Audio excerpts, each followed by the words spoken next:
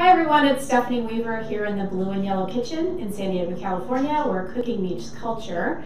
I'm joined by Microwave Boy on the camera, Daisy the Golden Retriever, who has a new giraffe toy today, so she's very excited. And my very dear friend Kim Lutz is here via iPad. Hi Kim! Hi Stephanie, thank you so much for having me today. Absolutely. So Kim and I know each other through the food blogging and cookbook writing world. Kim is the author of this beautiful new cookbook, the Oat Milk Cookbook, and we're going to be talking all things oat milk today. And um, you have written this is your sixth cookbook, so I'm so impressed. Good job. So really impressed when I looked up your stats. I was like, oh my gosh, this is book number six for her. Good job. Thank you so much. Yeah. I, it's a lot of fun to have a project. That's awesome. So uh, we're making today the a dessert, so I'm super excited. Uh, caramel sauce and chocolate peanut butter nice cream because this is an all plant-based cookbook. So I'm going to get the, the caramel sauce on the stove. Uh, the recipes are, are being provided uh, with the publisher's permission. So you'll see those in the comments after this runs live. And so we've got uh, brown sugar and a vegan buttery spread, and then a quarter cup of the oat milk. And I'm going to stir that real well and then put it on low on the stove. Is that right, Kim? Yeah, that's exactly right. Okay, and then so so you can. Did you want to show? Yes, I'm going to show the camera before I take it over there. So this is what it looks like before we start. So we've got the brown sugar, the oat milk, and a big nice uh, half cup of that vegan buttery spread. I'm going to put it on low heat, and then oops, give it a real good stir before it really starts doing anything. Just so you're putting it into a cold pan and on low heat and you get it all stirred up really nicely. And then you're just kind of letting it cook for five or so minutes until it foams. So I'm going to be keeping an eye on it while Kim is talking. All right. I don't know if my burner actually turned on. Hang on. No, there did, that did not turn on. So it's also always good to make sure your burner's on and you're not smelling gas. So that's a safety tip for all of you who didn't know that. Hopefully everybody knows that yeah, so I'm getting just a really nice, um, you know, stirring that up real well. And what's going to happen is we're going to be watching for the sugar to melt and everything to kind of turn into delightful caramelness. Hey Kim, do you recommend I leave the spoon, the wooden spoon in the pot or take it out? Is there... I, I usually take it out. Take it out, okay. All right, so I'm going to do that. I think I've got it stirred really well. To do a little loud tapping. Okay, great. So that's good. So you can come on back, microwave boy. So Kim, tell us about oat milk. What makes it different than other plant-based milks? And why should people be interested in possibly using it? There are so many reasons why I love oat milk. Um, one of which is that it is really quick and easy that you can make it yourself at home. Um, if you have rolled oats in your cabinet, you can soak them, lemon with some filtered filtered water, and then strain it. I use a nut milk bag, but you can use a clean um, dish towel or any fine weaved fabric, and you can just strain out the pulp, and you have fresh oat milk that you can use immediately. So if you haven't planned your shopping well, or if you get a sudden craving, you can easily make oat milk, and it is very affordable. Also, we um, I live in a food allergy family. My son has um, food allergies, so I'm really sensitive to people who have special diet needs, which I know you um, follow special diet as well, Stephanie. Yes. And if you can tolerate oats, um, it can be a great substitute because a lot of people are allergic to cow's milk or intolerant to cow's milk. Um, same with nuts. So it's a nut free, plant based, affordable, easy to make, um, delicious alternative um, when you need a dairy substitute. Great, that's awesome. So I was just stirring, just checking in on the caramel sauce because I know I don't want my sugar to burn. So um, yeah, and so you had um, very early on in uh, your son's life, you found out he had a bunch of food allergies, and that's kind of how isn't that how your family kind of started going down this road of special diets? Yeah, I was vegetarian for a long time before my son was born, um, but he was a baby when we found out that he was had multiple food allergies, and so we had to. I had to eliminate those foods from my diet as well because I was breastfeeding. But we also then just started learning more and reading labels, and I started cooking more. And the more you see what's in other foods, uh, the more that you become a more conscious consumer, I think, and that's what happened. Right. Yeah, and I think I've certainly known a lot of women who um, who's who became sensitive, or their um, or that while they were pregnant, or their babies were sensitive to certain things, and so they had to like eliminate all cheese from their diet or things. And so even people who aren't vegan or who or who aren't primarily eating plant based, there's lots of reasons why people end up needing some kind of special diet. So for myself, you know, when I found out uh, when I was finally diagnosed with migraines age 53, which is like 30 years later than I probably should have been diagnosed, um, you know, I was eating a whole bunch of foods that I had no idea were triggers for me and were making my migraine pattern worse. I had already eliminated gluten because I have an inflammation issue and sugar um, overall is not helpful for me to have in regular quantities. So, um, you know, it just, it's not that those foods are evil or bad or anything. It's just that some people's bodies do better without them. And I've certainly, when I told people I was going to be doing this show, I had so many people say, oh my gosh, I'm sensitive to dairy. I can't wait to hear about this. So I think it's really well timed and especially with all the, um, the you know the challenges around shopping and food shortages, it is great to know that you can make your own plant-based milk really easily through um, through your recipe in the book. So um, while that's cooking, I just want to uh, show. Um, so we've got such a range of uh, recipes here. So you've got a whole bunch of coffee, like coffee house drinks, because oat milk foams really well. Does it? It makes really great cappuccinos. You said.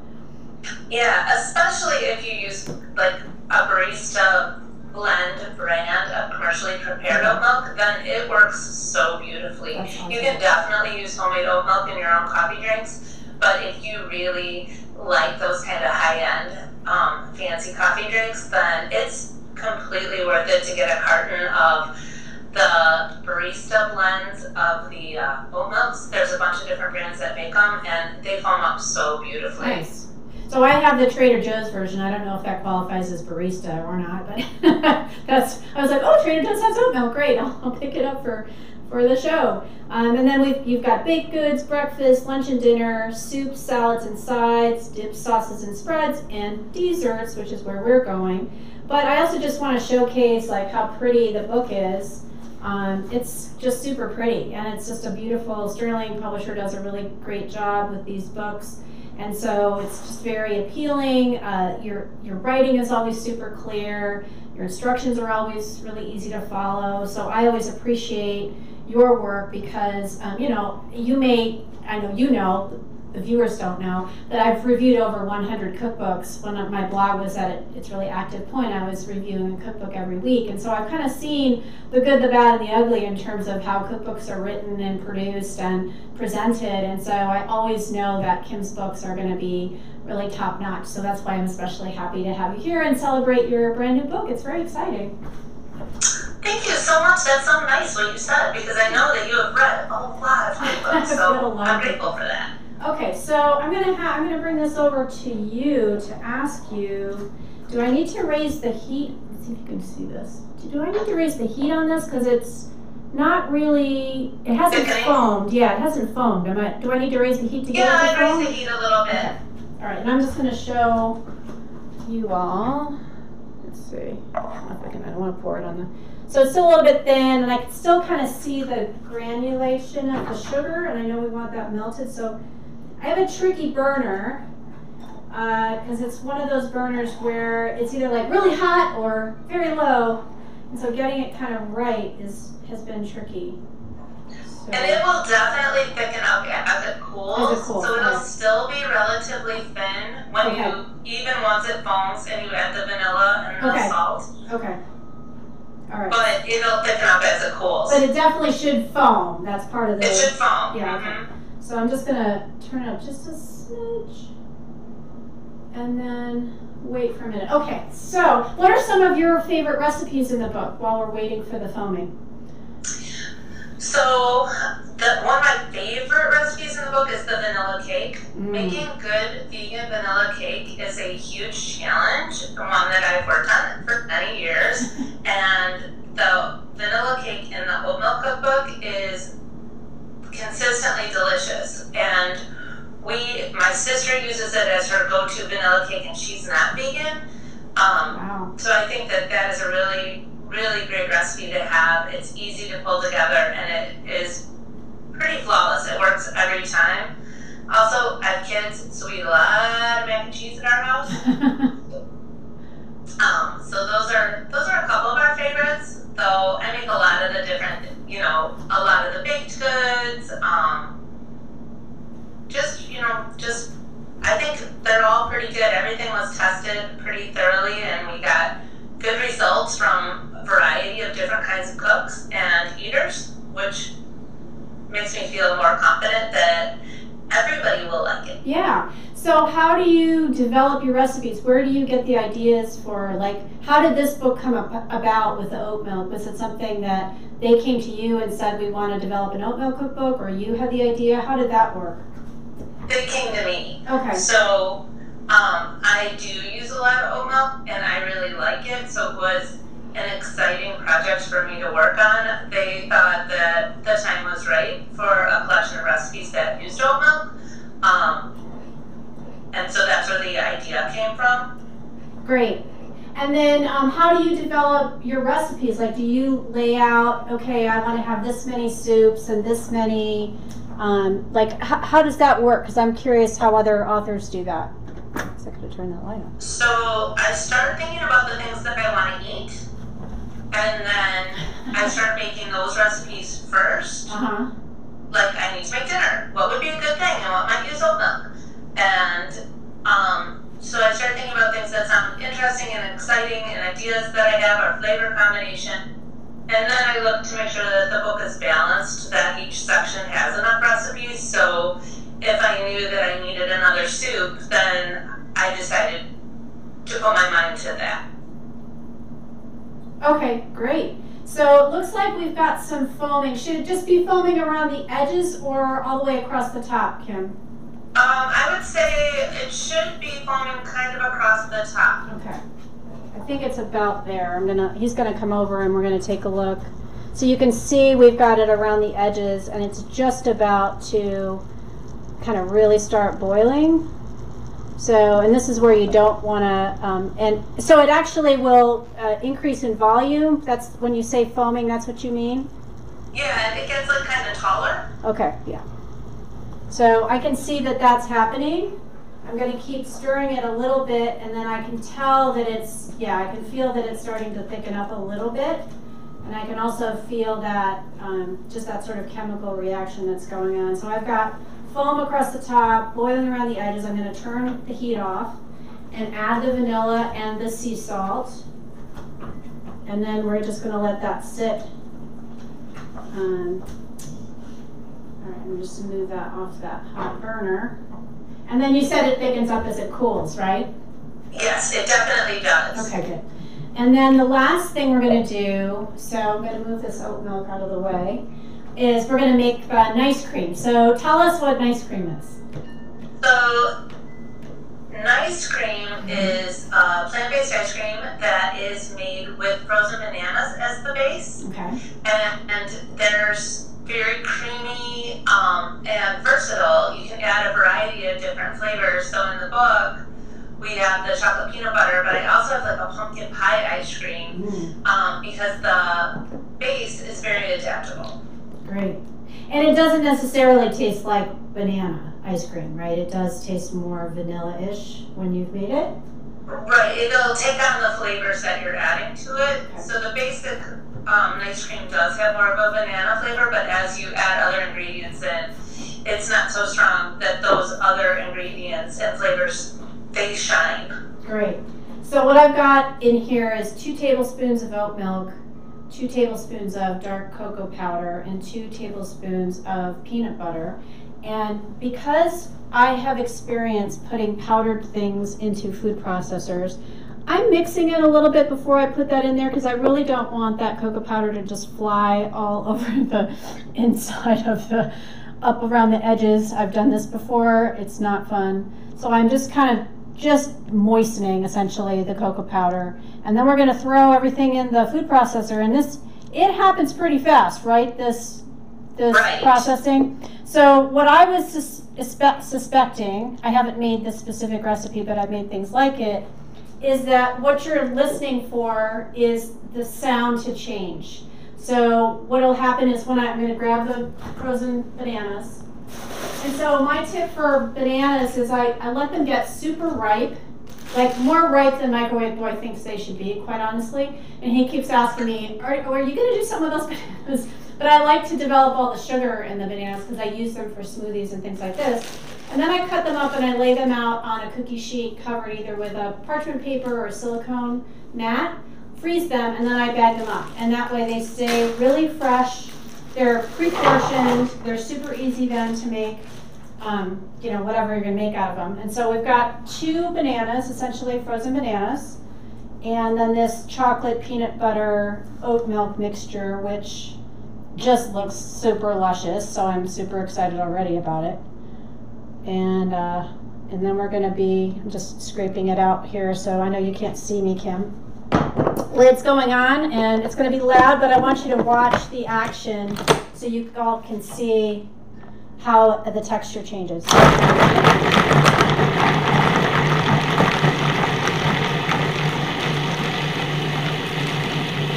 you can hear it got quieter but it looks like I have to stop it and um, actually scrape it down the sides that happen sometimes, Kim, where you have to stop and scrape it? Absolutely. Yeah, okay. Also, I would say, depending on how big your bananas are or the conditions of um, that you have, how warm your kitchen is. If it's really soft, um, like I say in the book, you can also freeze it to firm it back up, Okay. and then it'll make it more scoopable. If you want to eat it like a soft serve, it can be the, the softness can vary depending on